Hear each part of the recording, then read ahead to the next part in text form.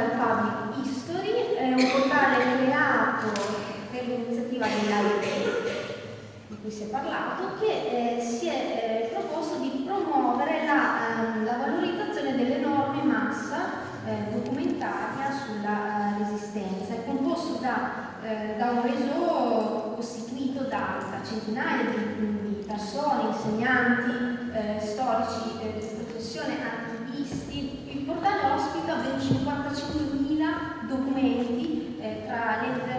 giornali, filmati audio, documenti audiovisivi, manifesti. Ecco, il, il, il museo si rivolge, eh, si rivolge al grande pubblico, eh, a, coloro, a coloro i quali sono animati dal desiderio di trasmettere la memoria resistenziale al maggior numero possibile di utenti. E in particolare appunto ha,